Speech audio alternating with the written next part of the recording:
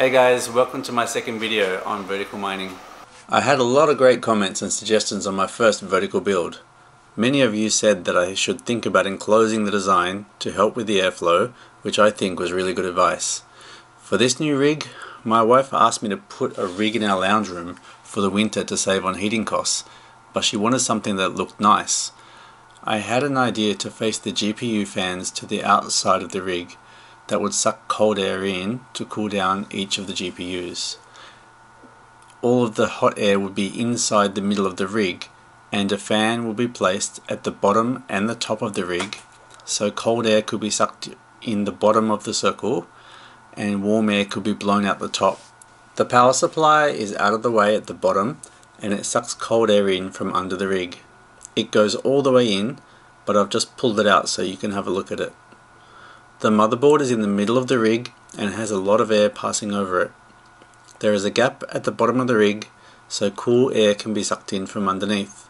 I originally chose MSI Gaming X GPUs because I knew they were quiet and just in case I was going to build a rig that was going to be in the lounge room, I wanted a, quiet rig where friends could talk without having to shout over the noise from the miner.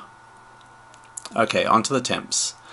I don't have a monitor connected to this rig and when I connect TeamViewer, GPU 0 usually drops in hash rate, so disregard the low hash rate as it will go back up when I turn TeamViewer off.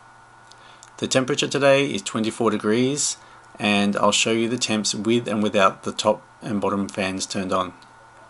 Here are the temps with the exhaust fan turned on. If you look at GPU 1, it's 63 degrees Celsius with the GPU fan running at 35%.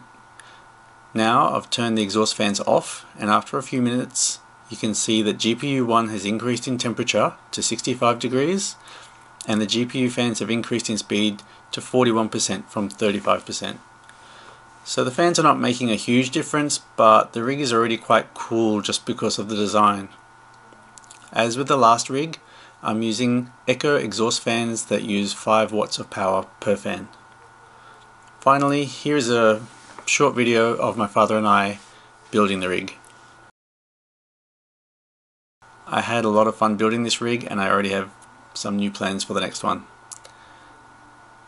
Thanks for watching guys, see you later.